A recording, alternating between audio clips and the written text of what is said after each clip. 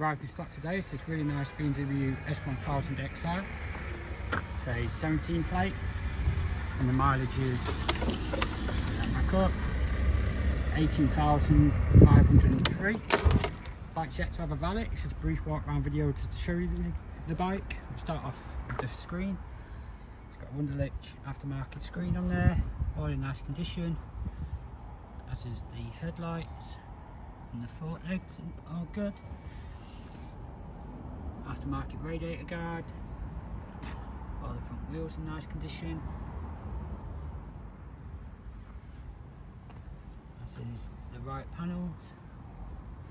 Again, it does need a valet, so there's bits of dirt on there, we'll get them off.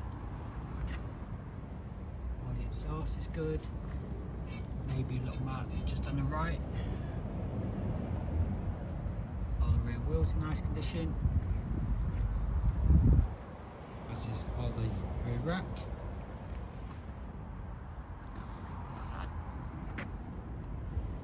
Again, we will be changing that uh, chain.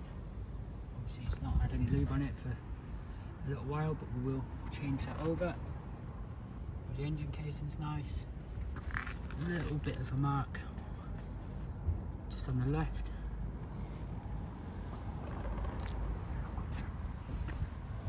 All the rear seat's nice, as is the main seat.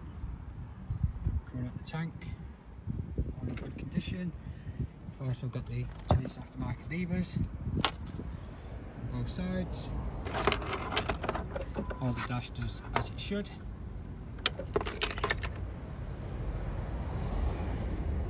you'd like to know anything else about the bike would like to review the bike, it's at Ryder Motorcycles Castle Road, Sittingbourne.